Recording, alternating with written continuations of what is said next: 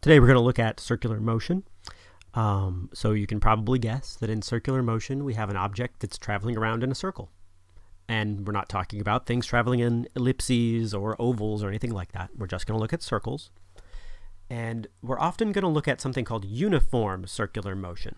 That's a special case where the object is traveling at a constant speed around the circle. It's not speeding up and it's not slowing down. And I'm going to draw four different situations that are all uniform circular motion. First, uh, imagine you take a bagel, you tie it to a string, and then you swing it around your head. Um, and I'm going to draw that from above. Uh, so we got a bagel on a string, swinging around in a circle. Another thing that can travel in a circle is the Earth. Okay, technically it's an ellipse. Let's imagine it's a circle.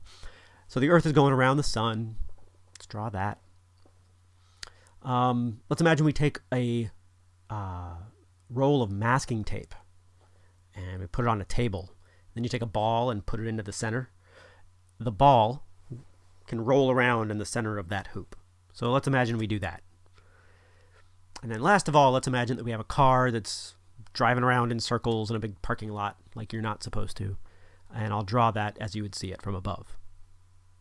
So four cases where an object is traveling in a circle. The bagel, the earth, the ball, and the car. In every case, the object is not speeding up and is not slowing down, but it is changing its velocity. It is changing its velocity. The reason why is that velocity is a vector. Velocity has a direction. So even though each object isn't speeding up and isn't slowing down, it is changing its direction during that motion. And if it's changing the direction that it's traveling, then it's changing its velocity because velocity is a vector. Okay, so if the velocity is changing, then that means it has to be accelerating. And if it's accelerating, then according to Newton's second law, there has to be a net force on the object. Hmm, okay. So let's ask this. In each case, what force acts on the object to make it travel in a circle? Well, in the case of the bagel on a string, it's the tension force. If that string was not there, it wouldn't travel in a circle. The tension force makes the bagel travel in a circle. For the Earth going around the Sun, it's gravitational force. If the gravitational force wasn't there, the Earth wouldn't travel in the circle. For the ball in a hoop, it's the normal force. The normal force of the hoop on the ball causes it to move in a circle. If there were no normal force, it would not travel in a circle. And for the car driving in a circle, that's a little tricky. But think about it this way. What force would you have to remove to make it not move in a circle?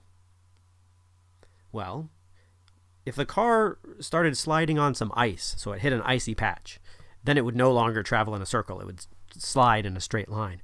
So, it's friction. Friction is causing it to travel in a circle. So in every case, there is a force.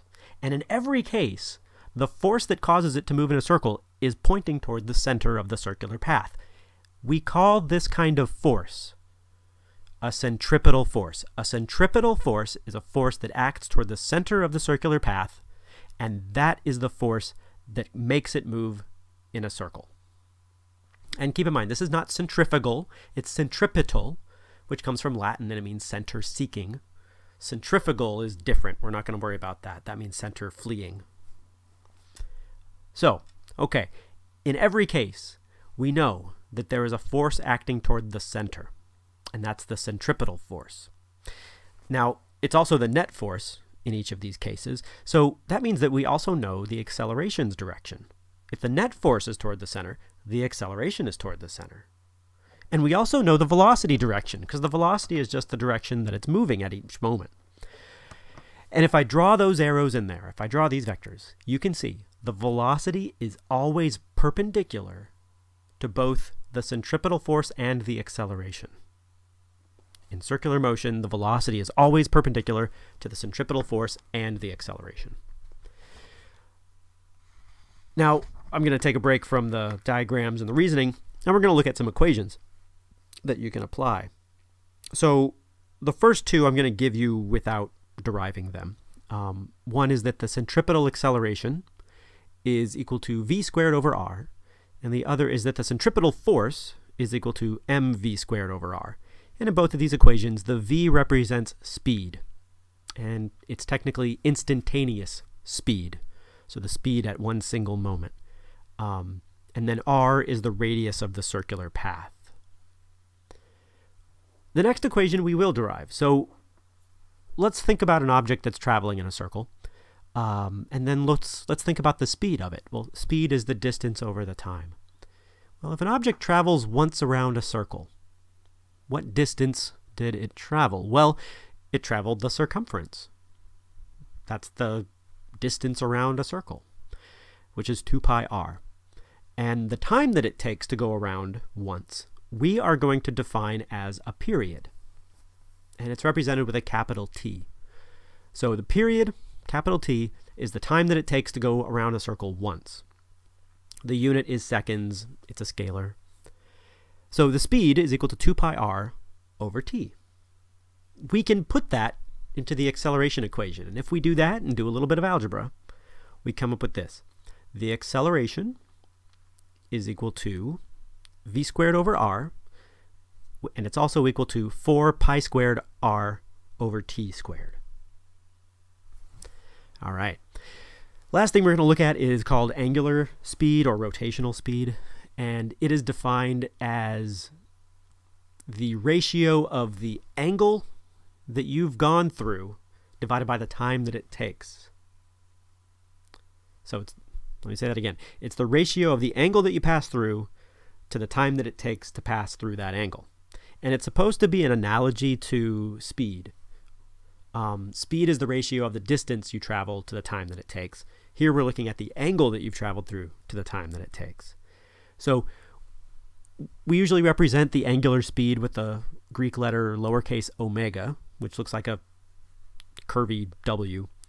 Um, so we can say that omega is equal to delta theta, that's the angle you traveled through, divided by the time that it took.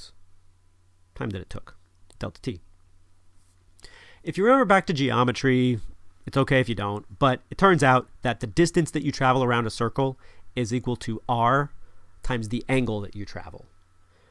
So we can write down an equation for the speed. The speed is equal to the distance that you travel around the circle, which is r times delta theta, divided by the time that it takes, delta t. And we can move the things around a little bit, and we can see that the speed of an object in circular motion is equal to the angular speed times r. And we can use that, we can put it into the circular motion equation, or excuse me, circular force, centripetal force equation. So the centripetal force is equal to mv squared over r, and that's equal to m omega squared times r.